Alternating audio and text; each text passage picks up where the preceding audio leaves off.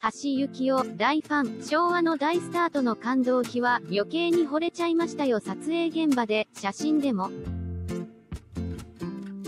歌手活動の引退を撤回し、現役復帰を果たした演歌歌手の橋幸夫、81が14日放送の BS 富士昭和歌謡パレード。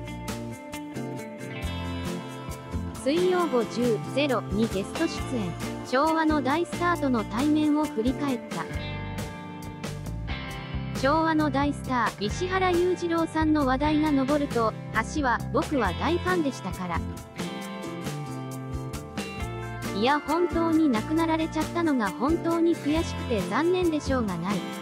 僕が中学生の時ですよと語った。で映画まで見たし、撮影所まで行ったんですからと告白。司会のタレント中山秀幸が、本当はダメなんですよねと確認すると。橋は、ダメです。どうして知ってんのそれをと苦笑した？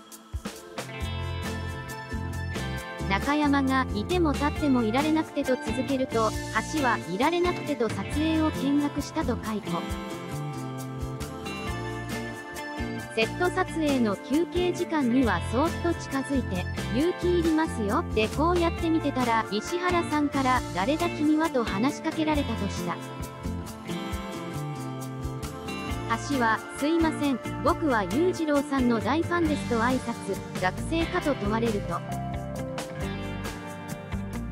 僕はまだ中学生ですと正直に話したという。